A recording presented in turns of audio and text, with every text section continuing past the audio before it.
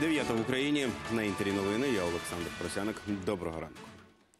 Джо Байден дав попередню згоду провести з Путіним ще один саміт з питань безпеки. Йтиметься там, як не складно здогадатися, про ситуацію в Україні.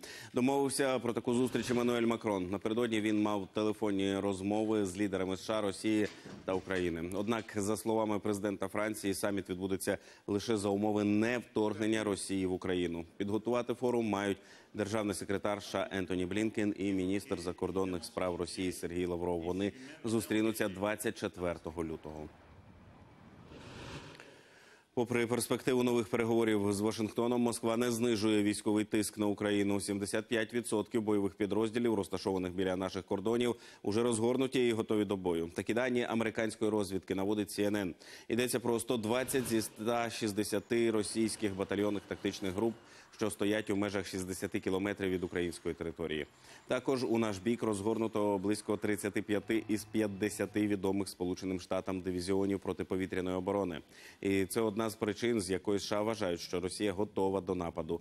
Окрім того, Федерація через морські навчання заблокувала великі ділянки вздовж українського узбережжя Чорноморського е, та Азовського морів. За минулу добу на сході поранений один український військовий. Втім, загалом на фронті порівняно з суботою стало трохи спокійніше. Ворог 80 разів порушував режим тиші. Найбільше обстрілів українських позицій в бік селищ Луганського, Красногорівки, Авдіївки, Новотошківського. Більше про ситуацію, яка складається на фронті в останні дні. Ігор Левинок. Про це говорили і цього очікували. Цього тижня ворог пішов на ескалацію на Донбасі. Рекордна кількість обстрілів, артилерійські удари і атаки танків. Під вогнем армійські позиції і мирні села та міста. Нині на передовій потрапити під ворожий обстріл можна скрізь. Так, давайте. Пошли туда. Там, там три.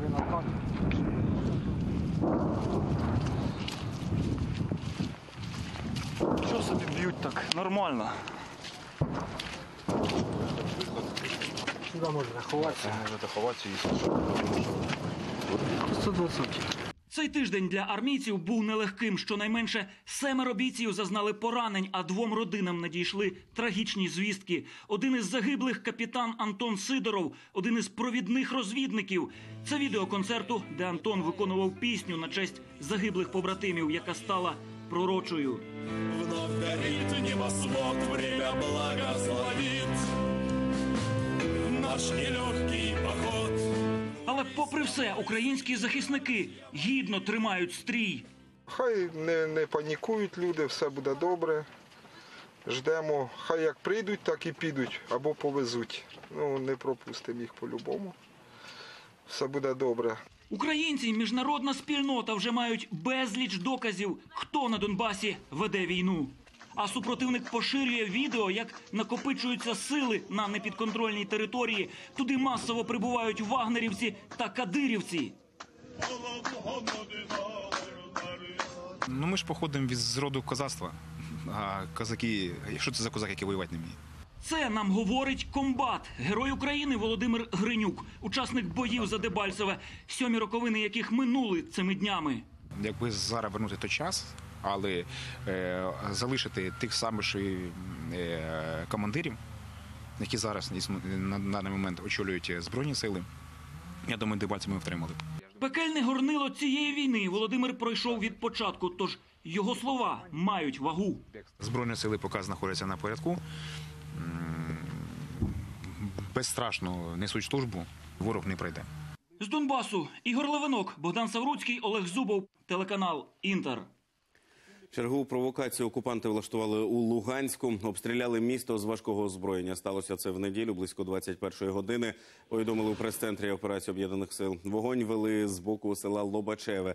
Противник сам підриває об'єкти інфраструктури на окупованих територіях та хаотично обстрілює населені пункти, аби потім звинуватити в цих злочинах українських військових. Командування ООС запевнило, що будь-які заяви про подібні атаки з боку України неправдиві.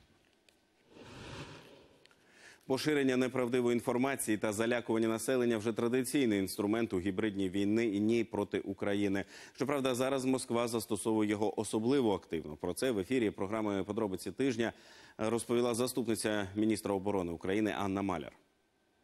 Це традиційні е, методи Російської Федерації. Це там створення фейків, залякування населення, яке знаходиться е, на тимчасово окупованій території, там сіяння паніки і нагнітання е, ситуації, нібито українські збройні сили збираються силоміць.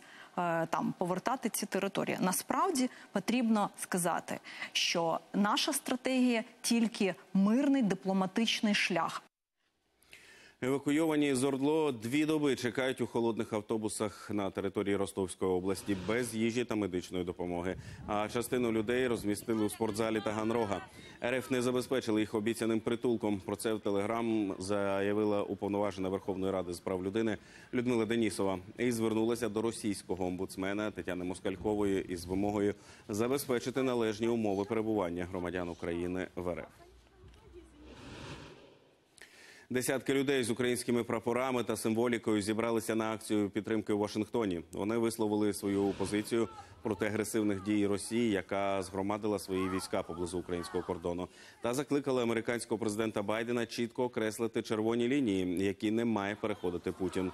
І ще численніший мітинг української діаспори та друзів нашої країни зібрався в Мадриді. Люди прийшли з плакатами проти війни та закликами до Росії зберегти мир у Європі. Акція підтримки України також відбулася у Швеції.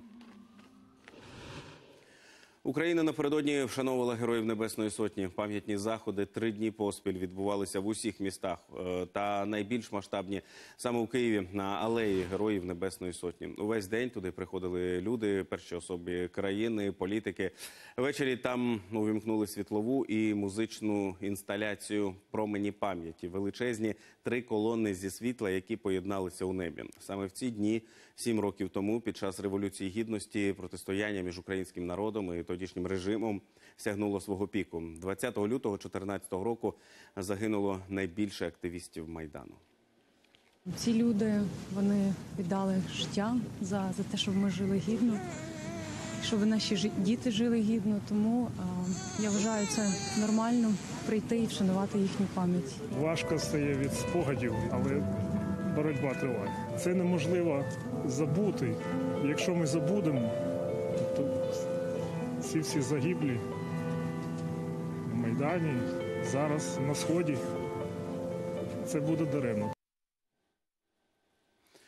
У місті Дніпрі загинув рибалка, який вийшов на тонку кригу. Першим його побачив місцевий житель, кинувся на допомогу, проте пішов під воду. Рятувати обох взялися троє правоохоронців, однак і вони провалилися. Надзвичайники, які приїхали на виклик, витягли на берег п'ятьох потерпілих. Однак е, рибалка помер у кареті швидкої. Цієї ж доби охочих посидіти з вудками рятували в Золотоніському районі на Черкащині.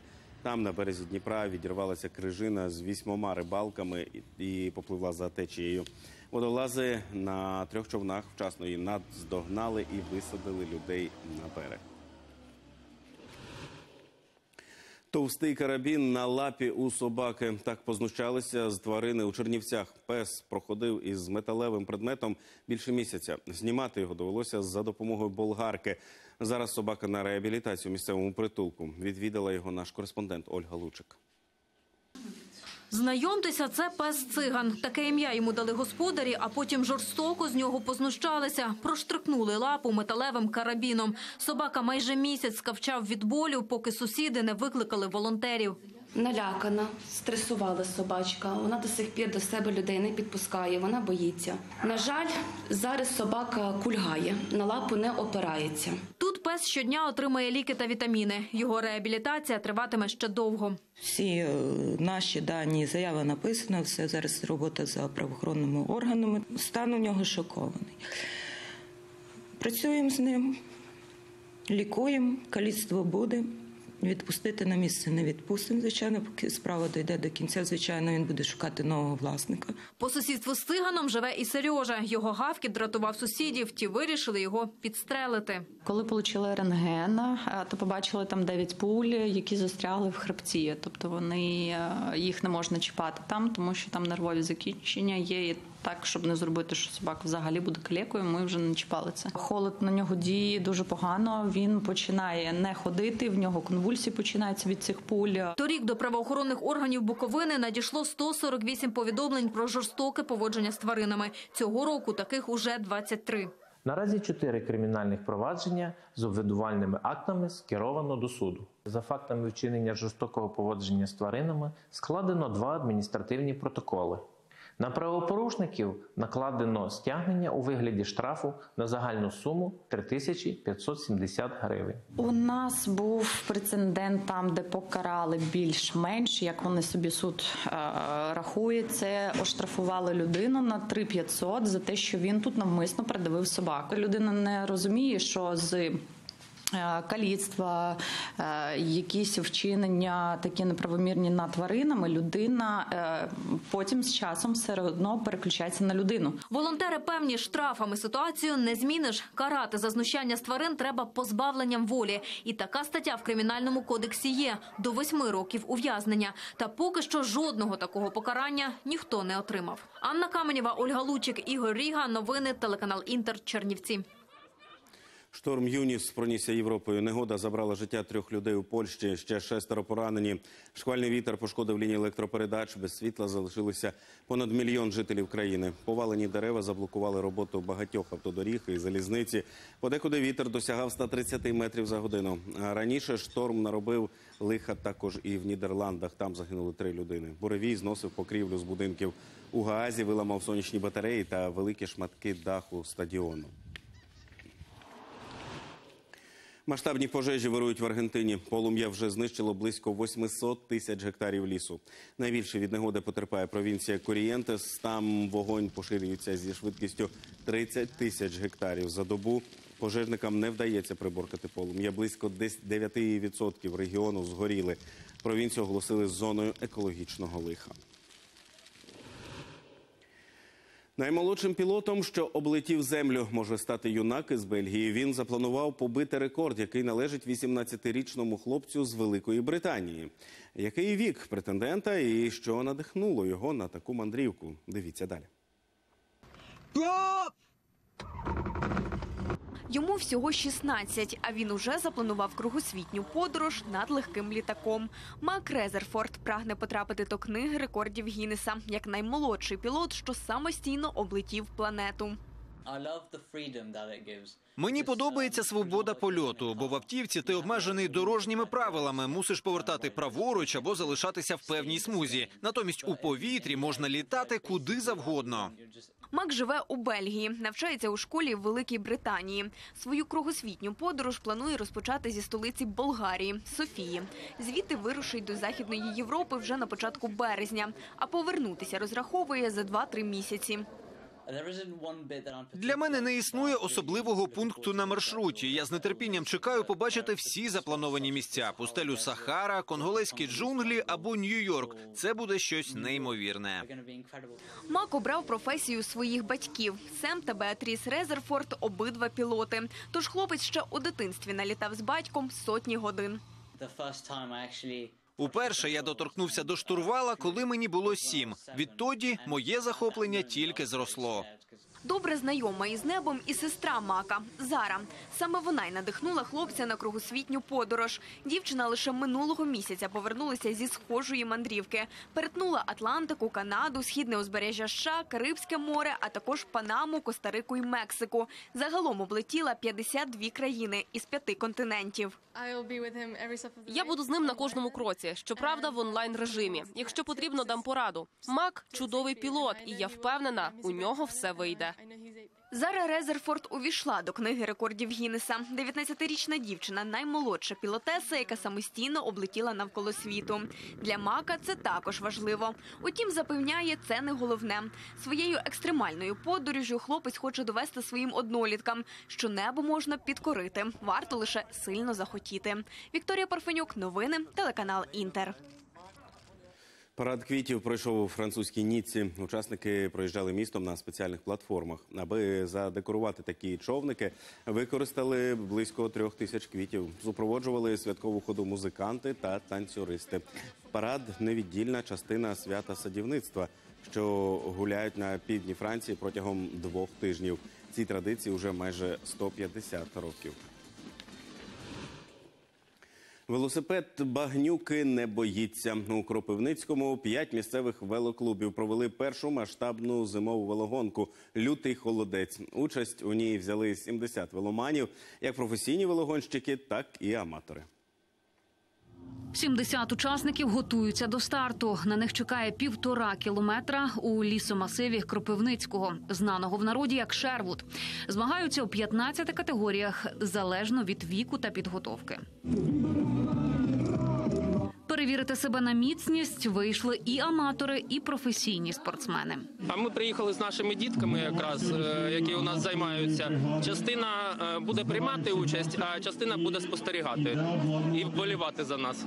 Мокра земля, листя, гілля і головне багнюка та перешкоди не лякають учасників. Давай, можеш. Я ще можу. Тож до фіналу прийшли, хоча й брудні, але щасливі і задоволені. Перший раз участвую в таких змаганнях. Е, тяжко, важко. Дихається тяжко дуже, особливо після зими, бо нема покатеньок. Е, взагалі круто, весело, зато тепло. Багнюка, по якій нос велик. Одна дівчина мене обженяла, впала. Е, адреналінчик, круто, весело, класно. Спробувати свої сили на трасі лютого холодця долучилися меломани від 14 до 70. І не лише з Кропивницького, а й з інших міст Кіровоградщини і Черкас. Крім е, того, що носить спортивний характер, е, оздоровчий характер, популяризацію здорового способу життя, він ще має на меті знову ж таки показати єдність, е, єдність наших спортсменів. В тому числі ми маємо на меті зібрати також кошти для благодійного фонду Ти не один, який опікується онкохворими дітьми. Частина стартових внесків і всі кошти від благодійної лотереї підуть на підтримку цього фонду. Поки учасники долали примхливу трасу, організатори частували уболівальників гарячим холодцем. Призерами аматорських перегонів стали 15 меломанів, які кожен у своїх категоріях найшвидше здолали непросту трасу. Інна Томіна, Олена Бринза, Володимир Чернишов. Новини телеканал Інтер Кропивницький. У Пекіні закінчилися Олімпійські ігри. Заключну церемонію увінчав грандіозний салют. Нічне небо над столицею Китаю світили тисячі вогників. З цієї олімпіади українська збірна повернулася з єдиною нагородою. Срібну медаль виборов фристайліст Олександр Абраменко. Ну а тріумфували на іграх в Норвежці. У них 37 нагород. Як розвиватимуться події о півдні, розкаже Ольга Сас. А в мене все. Гарного дня і до зустрічі завтра зранку.